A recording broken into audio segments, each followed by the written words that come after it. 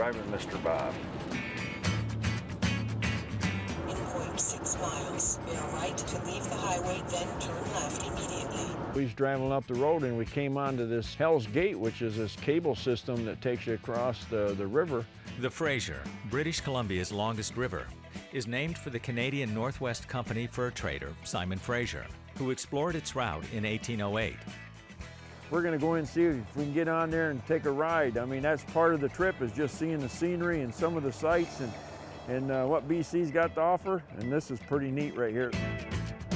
Nice to meet you. Yes, sir. On board. It's the deepest and narrowest part of the Fraser River. It's about 110 feet wide and today it's roughly 174 feet deep. Picture something to eat? That's one right there. Look, it's a mini me. Want me to get a picture of you? You're welcome. I have to tell you, it's a little scary. This thing is shaking. That's a lot of water coming through there. I can't imagine taking a raft down here, but I'm gonna put it on my bucket list. I'm gonna raft this.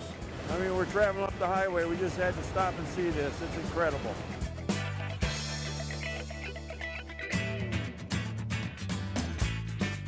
Take me to Clinton. Clinton is where the true interior of British Columbia begins, and where outfitter Bruce Ambler operates Bighorn Country Guiding for sheep, moose, and black bear. When did this hunt start? Oh, I guess many years ago when I met Bruce at the Eastern Fanaz. He seemed like a pretty good guy to me and somebody that I'd probably like to have in my camp hunting with me. Last year, we went up on a mule deer, moose, and a California bighorn. And that completed my second slam of sheep on the California bighorn. We had a, a great time together and uh, got talking about a spring bear hunt. So there you go. Uh, it's it's uh, spring of the next year, and we're up here hunting black bear with Bruce Ambler.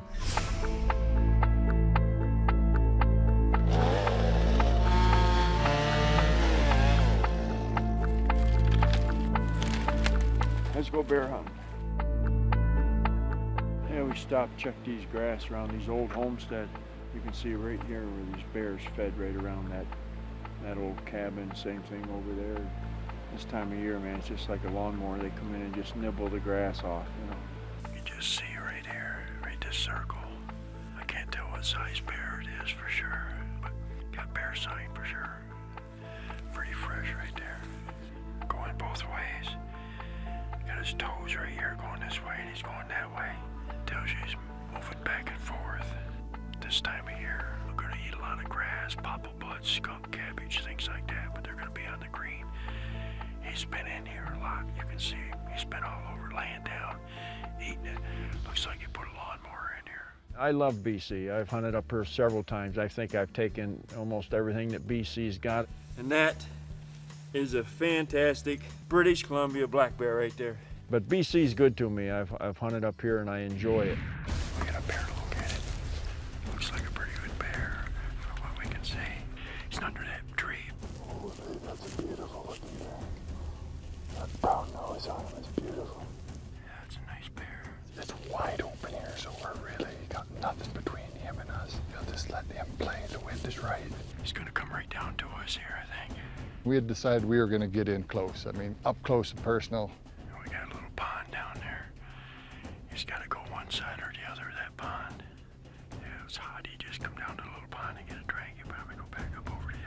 There were several places it could go. It could go to the right, it could go to the left, but the good news is it was early enough where we could actually follow this bear all day. This is a good situation. Oh, he's gonna go to the left. Feel that wind is switching. The wind is messed up right now. It's the middle of the afternoon. The thermals could be changing. We got the wind switching us. We was going one way. Wind switch. We gotta gotta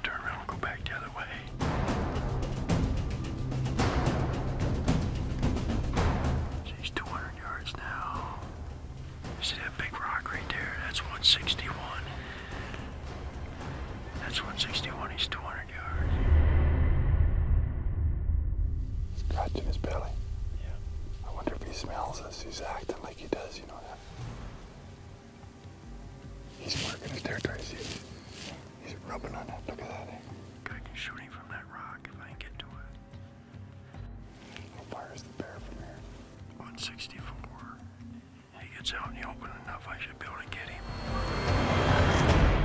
Foulkrod's armed for bear with his model 1886 4570 with 300 grain Winchester dual bond ammunition. And to get ready, he trained hard back home in Pennsylvania. Putting some milk jugs out, get them swinging a little bit. We got them going back and forth, and it's a matter of pick one out, go for the shot, next one, next one, see if we can get them all. Whoo, that's really going.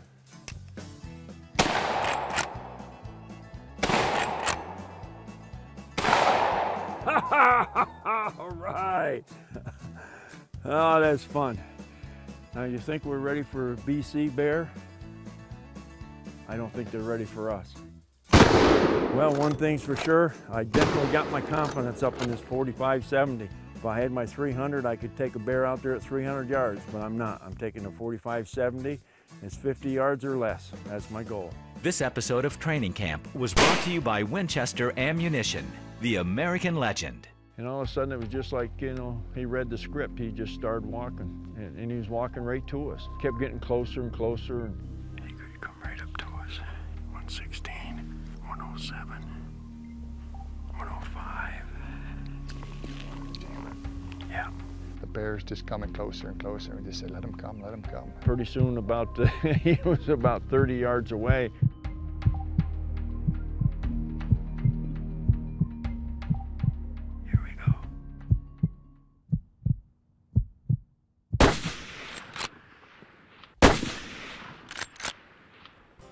Right.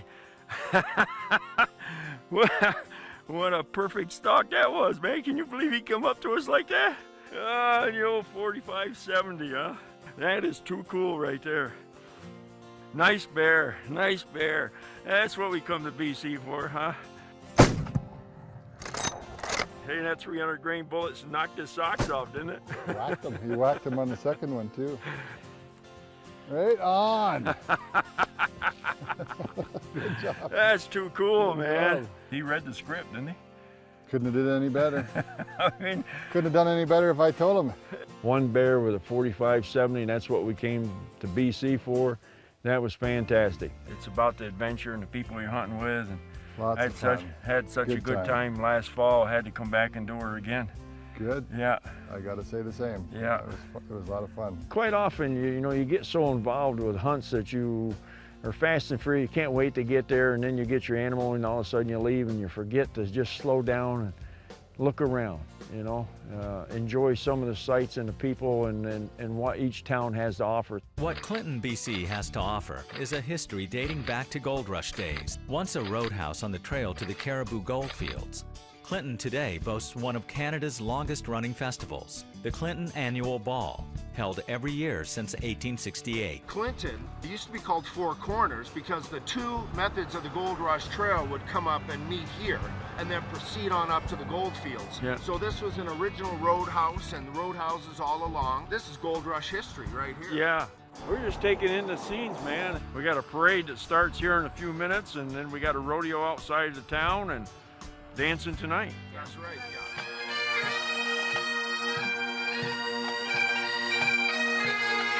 Look, she looks like me. Everybody loves a parade. Nothing better than a, a good parade in a small town. That's right, that's right. Yeah, we're gonna head down to the rodeo now. That's right, ladies and gentlemen. The whole town come to line and get ready for rodeo. We're glad to see a great crowd here once again in 2011 for another great rodeo. Oh man, that had to hurt. Bulls, one, riders, zero.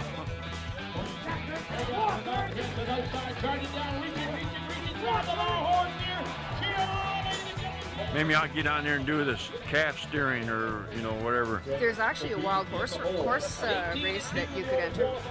Not. How many fans do we have for Bruce Ambler? Hey! Bruce even got into the pack and uh, Had three teams there where they could see who could get their boots on and get packed up and ride around the, the arena real quick. And it was a good time by all. It really was. And uh, I'm glad we took the, the time to, to go see that. Finally, the nice weather's here. Guess what? We'll be bear hunting tomorrow.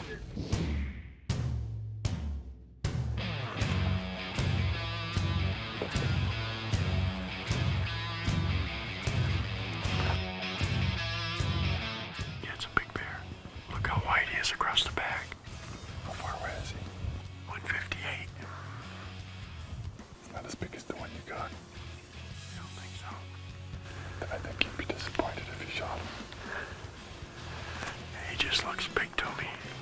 Average bear. He was half decent, but we can do better. I love to hunt bears. I've taken all the species of bears. I just had this fascination with bears. I mean, I just, I couldn't get enough of them. I took them in Quebec, uh, spot and stalk, tree stands, uh, shot them with longbows, recurves, flintlocks, muzzle loaders, inlines, just about everything you can think of. And I've never had anything come at me except for one, and I was actually in his path in caribou camp. You guys stay here, okay? That way to keep down on the scent. I don't know what he's got over there, but he's came out twice now, come down and get a drink, so we'll go back and we'll pick him up, eh? I could see, okay, he's drinking, so I went over and I got in the same trail that he was in, and all of a sudden he come back up, and God, I can't see him. I could see the alders moving, you know, and all of a sudden he breaks out about six or seven steps away, and he's coming up like this. I realized I don't have a shot at him, so I went, Psst. and he picked his head up to see what it was, and I tucked an arrow down and under his chin into his chest. He rolled down the hill, and he comes right back up at me again. Boom, and I hit him, and I hit him with that broadhead, and I hit him in the top of the head. You could watch the arrow actually go up in the air and fall back down. Anyway, he kind of set back down, and he turned around, and he ran down the river, and I mean, this bear is running. His back feet are going in front of his his head, and he's running, and I swung on him with a bow, and you can see the arrow come out of the bow and double lung him, and that was another encounter. I've had lots and lots of encounters with bears, and, and, and I love every one of them. Ain't nothing like a stalk on the ground for a bear, eh? We may have a keeper. And here this big black bear is right out in the open meadow. And I said, here's our chance, let's go for it. They'll feed out in the open and wander their way towards the timber. If we just work our way right along the timber line, I know right where they're gonna go back into them shadows. We'll just wait back there along the shadow line and wait for him to come into the timber. Sounds like a plan. Well, let's do it then. Wind's in our face, bears over there, shells in my pocket. Got your son here with you and uh, trying to stalk a bear. Life is good. Life is good. What made this particular hunt just really great is uh, having my boy with me, Cody, says, Dad, can I come along? And I says, absolutely. Uh, next generation of guide. Where's your hunting hat? I don't wear It's Saturday, so Cody's home from school, so an experience for a young guy to go along with us. I can give you a dozen reasons why to wear a hat. You can't give me one not to wear a hat. It just makes this whole hunting experience just that much more fun to be out there with your, your youngins.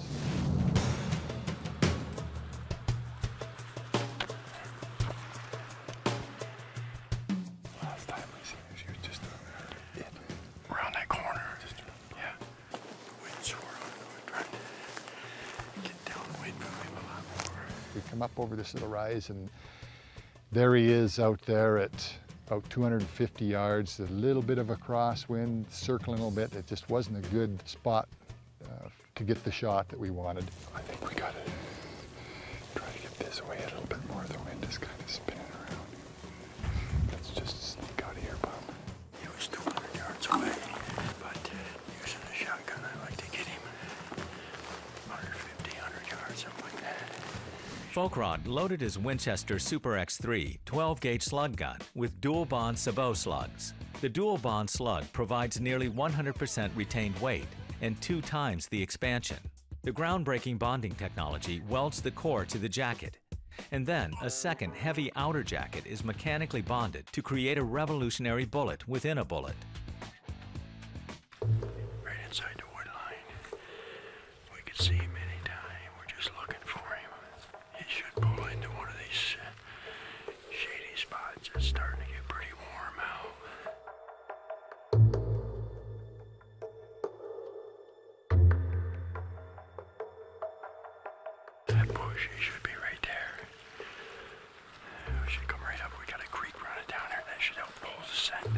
We got in there, we could see him just over the hill, and the wind was kind of swirling, so we got over in a kind of a ravine, and I was hoping that ravine would pull our scent down. Made a stalk around, getting the wind perfectly in our face. We come up over this little rise, and the bear, like we sent the script to him again, is walking straight towards us, no more than 60 yards, and coming our way. You gotta move, it gets pretty tense, but everything's good. He doesn't anticipate us at all. The wind is in our face, perfect situation. And I'm just crawling up, moving my camera and my shotgun up closer and closer and closer. Finally got up over top of the hill. The bear comes up to about 30 yards, turns around, starts feeding back. There's always that little bit of anticipation. Could he come over and get you? I like that thrill. I like that thrill of the stalk. When he turns sideways.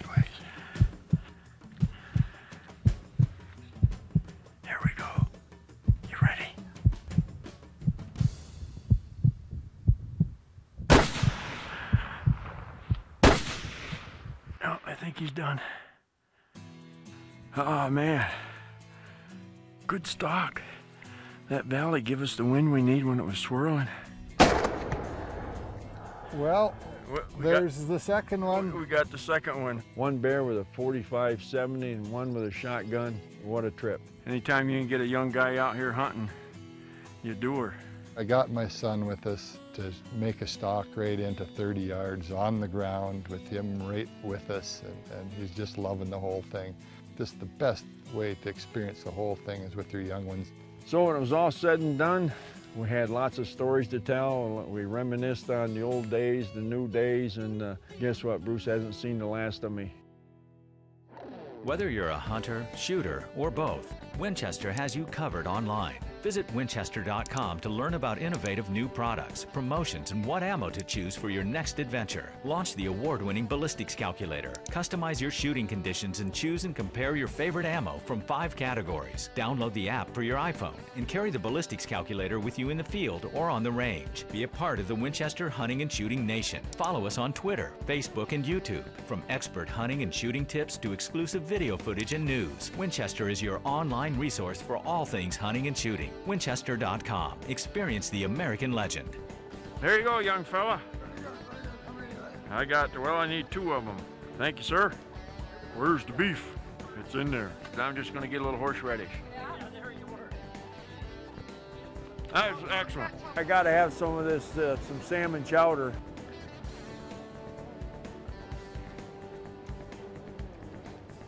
Oh, that's good.